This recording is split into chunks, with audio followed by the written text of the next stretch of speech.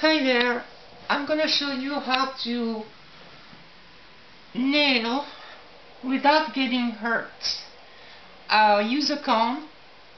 Um, I use a comb, uh, this comb for the nails that I'm gonna use here which are quite small and uh, not very thick so um, I use a comb that is mm, uh, with uh, spacings between the teeth that are um, yeah.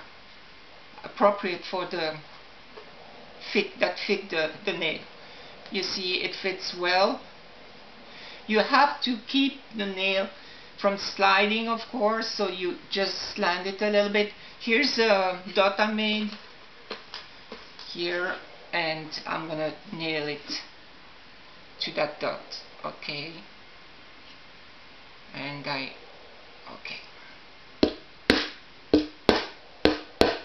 and after that once it's in it's much easier. And uh, I'm gonna do it with a smaller one. Here you go. Put it there.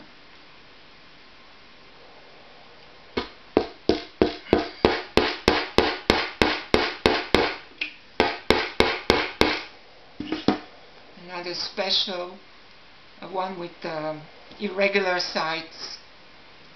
Sides sorry. Here we go.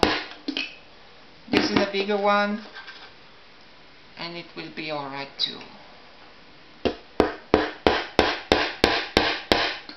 So there you are. That's simple right